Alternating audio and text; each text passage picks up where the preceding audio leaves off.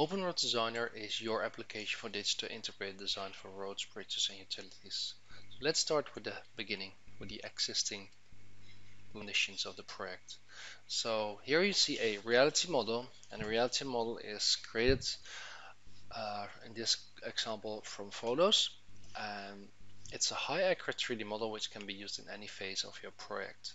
So we move on into Open OpenRoad Designer which is the advanced application for road bridges, tunnels, utilities. Uh, design and modeling. So on the left side you see the 2D plan drawing which has been created by the application OpenRoads and on the right side you see the full 3D model. So they are always dynamically linked together. So you see the 3D model including the reality model which is just attached to our application. So the the good part of about referencing is that the source, when the source is going to change, your data is also going to change. So here you see the full 3D model, including the roads. Um, this project has 11 bridges.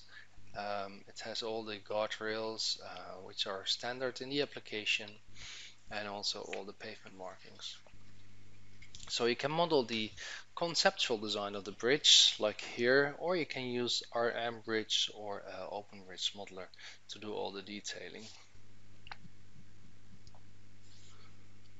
So in this case the file size has is only 19 megabytes despite the fact that it has more than 100 kilometers of roads.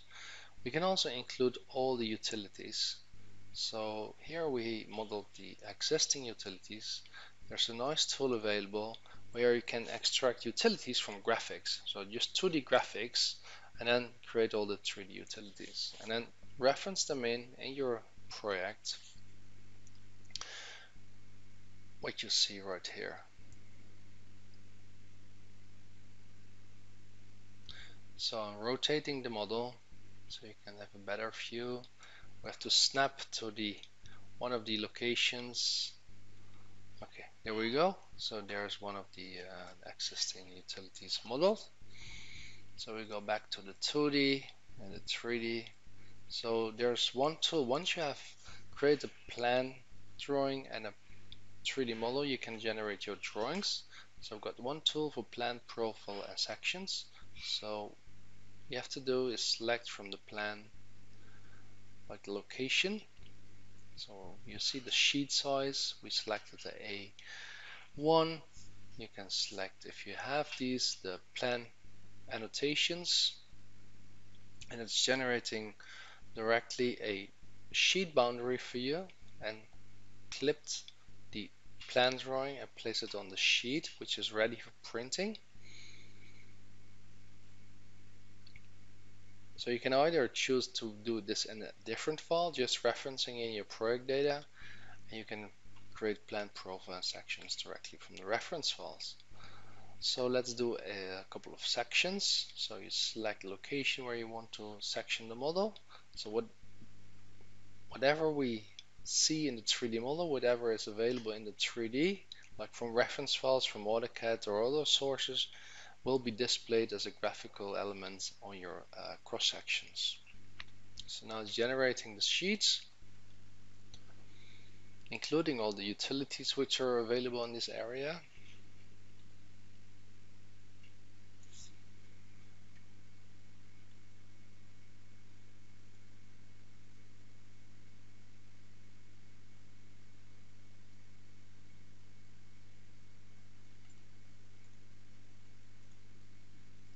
So now it has generated generated the uh, sheets, including the title block, and etc., and projected all the sheets uh, on and annotated the, uh, the, the sheet layout as well.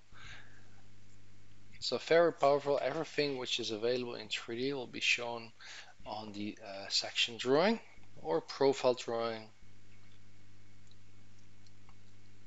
And we can customize this really easily as a user. So let's go back to the 3D model. So now we've got a dynamic 3D model linked to the plan drawing, the profile drawing, the sections, and we can generate now a nice visualization. So you can export everything to LumenRT, which is uh, come with the product Open OpenRoads. So it's it's uh, it's no extra license, and here you can generate really nice uh, visualizations. So easy to use, uh, full set of libraries like cars, um, plants, trees, uh, people. and here I'm laying out a, uh, a four lane just um, generate the, the path and it will populate the, uh, the cars for you. You can either choose to do it um, from a uh, application like Vissim or you can do it randomly like what I'm doing right here. So now you see the traffic.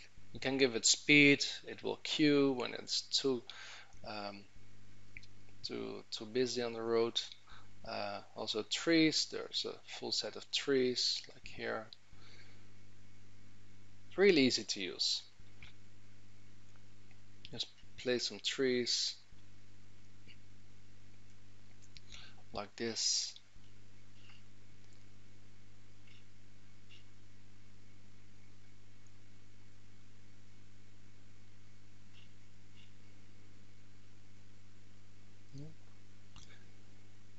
So this is all about to bring your uh, design more um, alive so you can make other people enthusiastic about this 3D model or the design basically.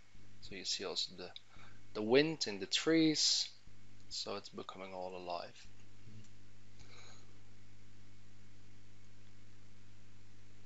So when you populate all the traffic, when you create all the traffic, it's done in minutes it will look like this. So I speed it forward and now you see all the traffic.